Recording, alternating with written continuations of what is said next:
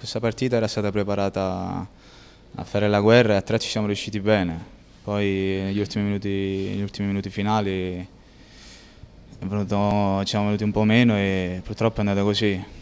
Ora bisogna solo abbassare la testa e pedalare e migliorare giorno dopo giorno negli allenamenti. È una squadra consapevole dei propri mezzi, ma al momento bisogna mettere i piedi a terra e guardare la realtà, il momento e quindi come, ho detto e ripeto bisogna solo abbassare la testa e pedalare negli allenamenti.